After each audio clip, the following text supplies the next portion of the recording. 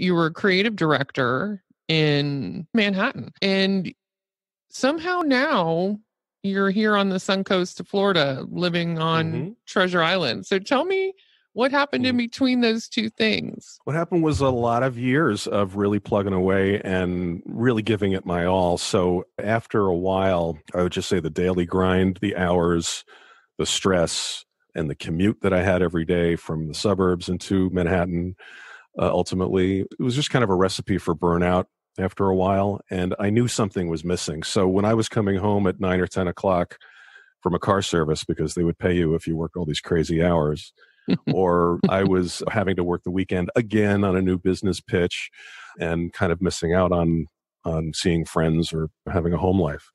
At some point you say, what is it all for? What does it all mean? And